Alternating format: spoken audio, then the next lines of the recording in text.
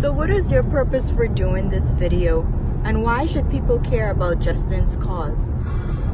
Um, my purpose for doing this video is one to obviously shed light on Justin's situation and to just kind of be a voice for him because I was in there with him. I know he's a good person. I know he's a compassionate person and that he deserves another chance at freedom. And so I, I guess my purpose is to advocate for his cause and to hopefully get him some type of attention or help to where he can get what he needs to finally get out of there.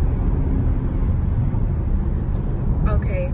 I do believe in people having a second chance, but do you have kids? Yes. Okay. What if this was your son that was murdered and someone is locked up doing the time uh, for your son's murder, would you want them to be released? Well, again, in Justin's situation, he didn't actually pull the trigger.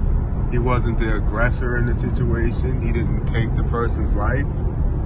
And I think that circumstances vary, and for that reason, people should be sentenced individually based on their roles in the crime. Um, so if my son were murdered and one of the perpetrators was around the corner when the murder happened, but let's just say he knew about it before or after and did nothing to stop it. I don't think he deserves the the perpetrator would deserve to spend the rest of his life in prison for that. Because there's a lot to consider. There's peer pressure.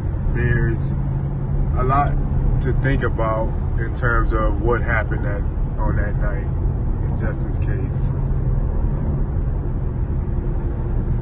So, do you think if Justin was to be released from prison, that he can be a productive, law-abiding citizen? Absolutely. In fact, I think Justin is definitely a better man than me. You know, I, I admired Justin when I was in there, and he's one of the people that you know, I considered a mentor because of the way he carried himself in there. Um, but it's not about, in all honesty, it's not about rehabilitation. In prison, they allow us to go out into society sometimes and go into the public with life sentences. I had 35 years.